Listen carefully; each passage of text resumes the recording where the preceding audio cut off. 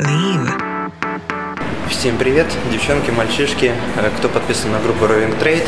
Сейчас рубрика Live. Мы находимся на Кремном канале в Крылатском, э, номер рейлинга номер два. Э, Это мастерская Олега Васильевича. Возможно, все ее знают, потому что обращались к нему, я так понимаю, не первый раз. И, может быть, кто-то первый раз по поводу весла, по поводу лодки, чтобы ее сделали, отполировали, закрыли сколы какие-то. Вот кто-то там, возможно, разбил, чтобы ее починили, там либо порвал, чтобы весло склеили. Но мы зададим парочку вопросов э, интересных Олегу Васильевичу. Надеюсь, он сможет на них ответить. Мастерская очень уютная, хорошая, рабочая тут обстановка. Тут тепло, специальная температура поддерживается для того, чтобы можно было производить ремонт лодок. Вот такая мастерская. Если кто не знает, э, Олег Васильевич обучался также на заводе Нелла э, по ремонту лодок.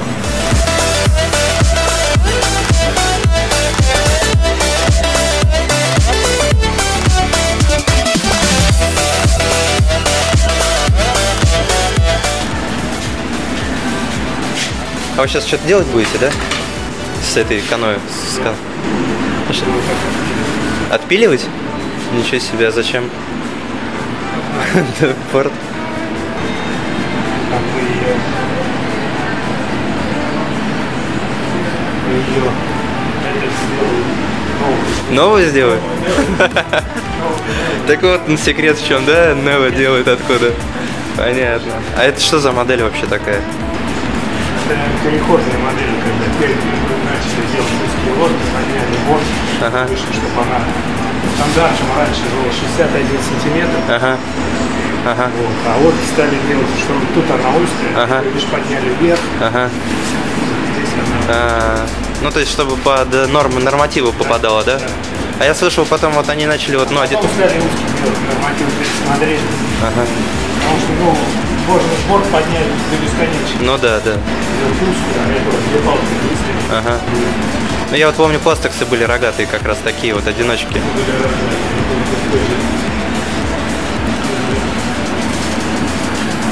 А сейчас, получается, нормативов нет, только длина 5, ну, 5,20 и 12 килограмм, да?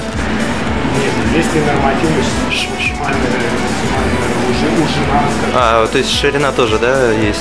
А, такой- Нет, сейчас все приведено к параметрам. ага, есть Сделаешь ужин, просто не, не встанешь, она будет или тянуть, или переворачиваться. ага. Это вы отрезать сейчас будете?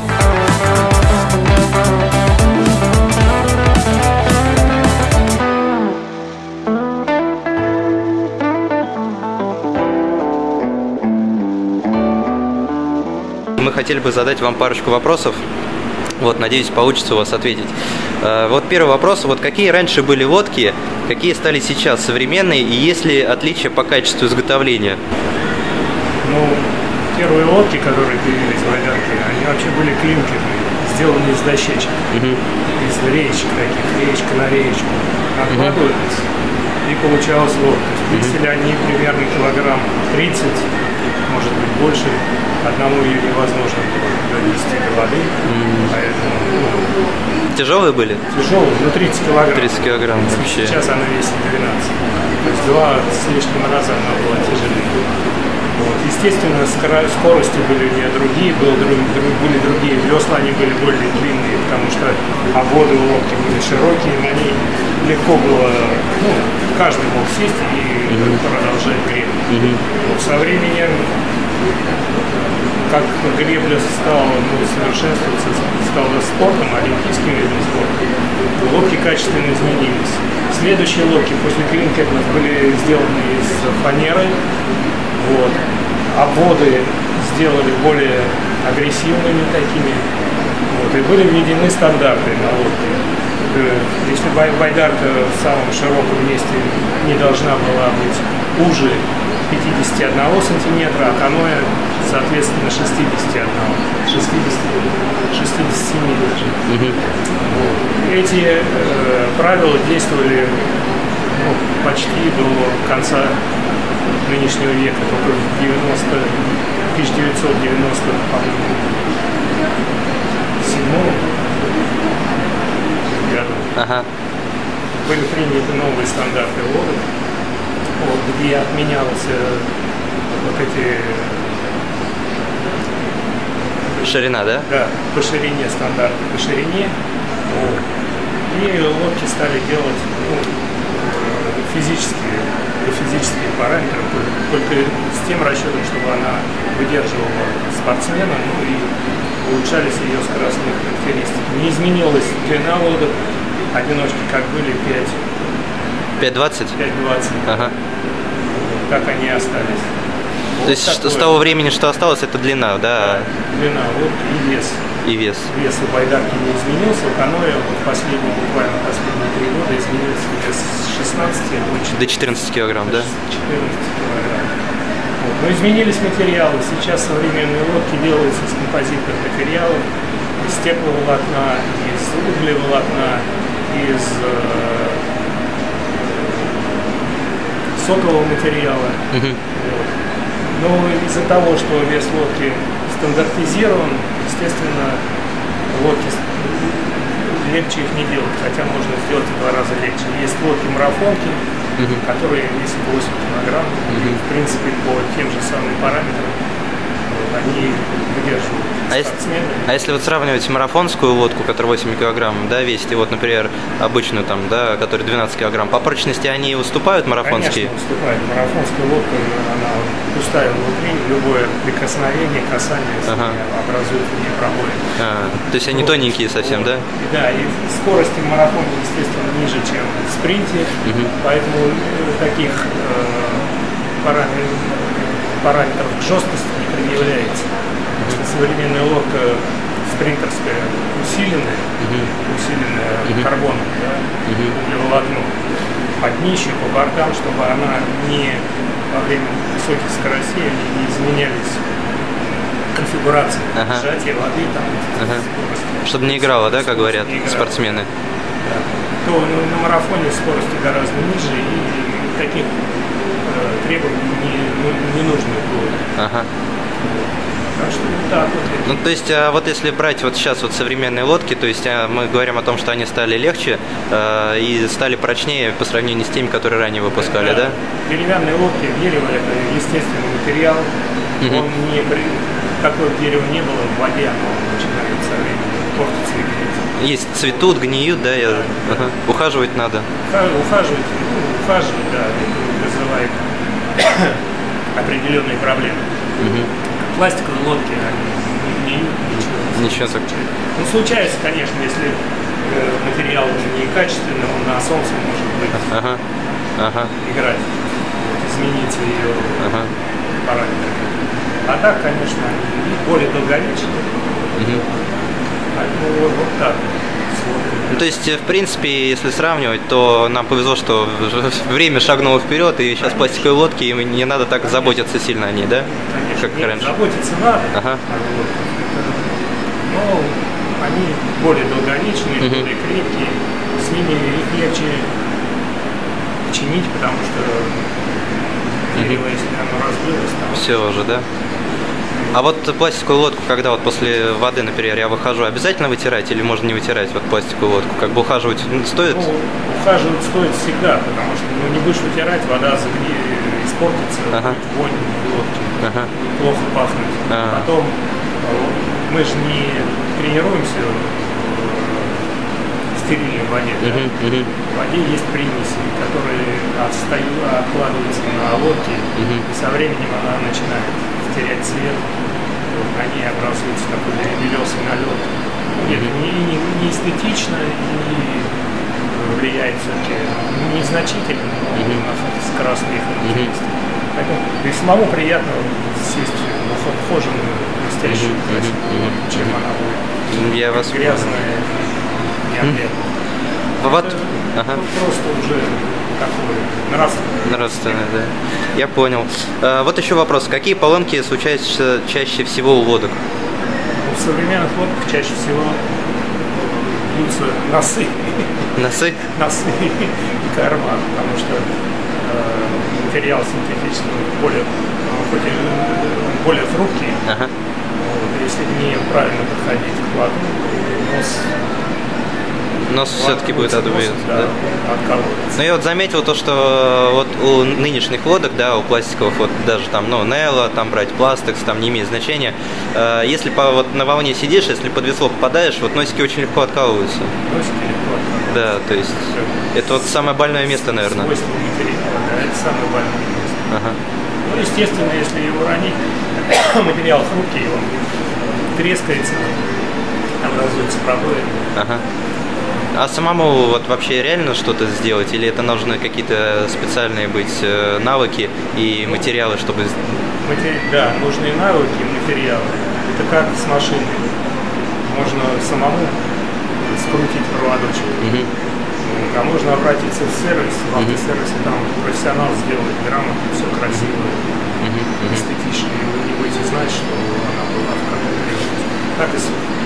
Потому что современные материалы, они требуют определенных знаний, Мгм. которыми рядовые люди, они просто в жизни с этим не сталкиваются. Ага. Поэтому при возможности лучше, конечно, обращаться к специалистам. Вот. Ну, мелкие поломки, ну, в современных лодках их мало. Мгм. Мелкие поломки, конечно, можно устранять самому. Вот. Ну, чтобы она вот, долго служила и работала, лучше, конечно, за ней ухаживать. Протирать, следить, чтобы не было никаких. Ну, и вовремя, мгм. вовремя, пока не запускать до больших проблем, Мгм. обращаться к специалисту, Я вас понял. Вот э, вопрос такой, на что стоит обратить внимание при выборе лодки бэушной, да? Как определить, была ли она битая на вид или нет? При выборе бэушной лодки следует обратить на производителя. Э, В современном грибном спорте нашем Мгм. доминируют, конечно, лодки производства Португалии. Мгм. Они очень качественные. Фабрика, на которой они изготавливаются, современная. Они впереди планеты всей. И если вы берете португальскую лодку, это гарантия того, что она качественная и прослужит вам долго. Мгм. Были бы у нее, нет у нее пробоин, каких-то больших неприятностей, это ну, визуально можно легко обнаружить, потому что большие и большой ремонт, он никуда не денется. Мгм. Его сразу заметно, видно. Поэтому. Понял вас. Э, Какие весла вам больше нравятся и кажутся более качественными в изготовлении и по прочности? ну, современные весла все качественные, все без исключения. Мгм. Вот, они все сделаны из э, углеволокна. Вот, они имеют, я считаю, очень грамотную форму. Вот, весло хорошо работает в воде по сравнению с, с бывшими веслами. Это вот если мы берем вот как раз деревянное весло, да? Вот. Они технологичны. Вот. Существует сейчас несколько ну, ведущих фирм, которые изготовляют весла. Вот. Ну, в принципе, э, линейка очень большая. Фирма Брача вообще имеет, по-моему, 12 что ли, Мгм. весел. Ну вот я вот 11 Ван Дюсен еще знаю, там, да, они марафонские делают, обычные делают. Ну, то есть э, по желанию можно выбрать любое весло. Все, все весла качественные, работают хорошо. Тут все зависит от предпочтения самого спортсмена. Мгм. Кому-то нравятся такие, кому-то другие. Мгм. Э, Работают они почти, почти не выходят из строя, почти не выходят из строя. Ну, естественно, сломать можно все, что угодно, но Мгм. так они долгосрочные, долгоиграющие, Мгм. очень хорошо себя зарекомендовавшие, поэтому современные весла можно грести ну, любым веслом и Мгм. наслаждаться. А к вам приходят чаще с лодками или с веслами? Ну, ко мне чаще, конечно, приходят с лодками, весла приходят только собрать. Ага, собрать, да? Весла поступают да, в разобранном виде, собрать, подог- подогнать под размер спортсмена, вот Ага. Я вот знаю, что слух ходит, что вы проходили обучение на заводе Нелла в Португалии как раз э, по ремонту лодок. Вот скажите, пожалуйста, это правда или нет, и чему там учили, если вы там действительно проходили обучение? И устарели ли технологии по ремонту лодок на текущий момент? Ну, я на самом деле стажировался на ф- фабрике Нелла, но моя стажировка была непродолжительная, порядка 10 дней. Ну, мне было интересно просто посмотреть производство лодок, ну и, конечно, ремонт. Э, Ничего сверхъестественного в ремонте они не применяют. Мы делаем то же самое. Единственное, что у них, конечно, большой ассортимент э, современных материалов, которыми мы которых у нас нет. Вот. И это позволяет им справляться с ремонтом любых лодок. Вот. Какие-то секреты сверхъестественные. Э, ну, конечно, такого ничего нет. Ну, любой человек этим занимаешься, поймет, что к чему. Секреты есть э, в изготовлении лодок. Они их тщательно скрывают. Вот на все протяжении 10 дней, которые я там был, угу. меня особо не подпускали к э, процессу изготовления лодок. Он много функциональный, там сначала делают одно, другое, третье. Вот. Ну, издалека можно, а близко сразу как бы старались отвести в сторону, чтобы ну, то есть все-таки секреты какие-то есть, и они их не раскрывают, да? Конечно, они, да, ну это, это правильно, угу. правильно. Каждая фирма, тем более доминирующая фирма, она не хочет, чтобы угу. какие-то нюансы были угу. известны А вот кроме Nell, вот э, какие лодки вот вам интересны, вот фирма, вот, если брать? Ну, вот сейчас развивается очень здорово, не знаю, достигнут они высот Nell или нет тоже португальская фирма Элио. Вот. Последняя лодка ну, очень своеобразная, интересная, но не доведена до конца, там с ней надо еще поработать. Но если они ее доведут до конца, я думаю, что она будет конкурентной. Угу. То есть на текущий момент ближайший конкурент, если Канело, мы говорим Элио, да, наверное? Да, скорее всего Элио. Ну, потому что, во-первых, Португалия, там они все-таки как бы друг с другом, наверное, mm-hmm. быстрее договорятся. Mm-hmm. Вот. Лодки фирмы Lastex, каноэ, они доминируют э, в каноэ спорте. Mm-hmm. Вот. Нелла с ними конкурирует, я считаю, тоже удачно. Mm-hmm. Поэтому фирмы Нелла каноэ mm-hmm. интересные. Mm-hmm. Вот. Ну, немножко чего-то там не так. Mm-hmm. Потому что каноисты вот предпочитают Lastex. Э, фирма Plastics, э, Вайда. Фирма Вайда, да. Вайда. Ага. Вайда. Ну, они немножко дороговаты по сравнению ага. с их качеством. Ага. Вот. Ну, кому-то тоже нравится, -hmm. у кого немножко проблемы с э, балан, балансом. балансом. Да, те предпочитают лодки фирмы Вайда. -hmm. немножко более устойчивые такие. Ну, по качеству неплохие, по качеству неплохие, хорошие. Сколько вот приблизительно лет вы уже вот э, работаете вот э, по лодкам, по веслам? Какой у вас опыт, багаж знаний? Большой, скажем, ну, уже профессионально вот так вот за зарплату я работаю, лет 17. 17? Нет, 17-18. А, 17-18. 17 у меня в трудовой книжке написано, что я А так, конечно, я с, с детства, когда стал заниматься греблей, стал эти лодки, были деревянные, стал сам доводить до ума, ну, налог появился. И, и вот, вот так стало моей, моей профессией. Я вас понял. Спасибо, Олег Васильевич, вам огромное, что ответили на вопросы, потому что у многих э, есть вопросы, которые, к сожалению, не могли задать лично. Вот, надеюсь, это будет видео полезно вам. Вот, ребят, спасибо, что были с нами. Всего доброго вам, до новых встреч. Олег Васильевич, пожму вашу руку, спасибо вам огромное. Все, до свидания.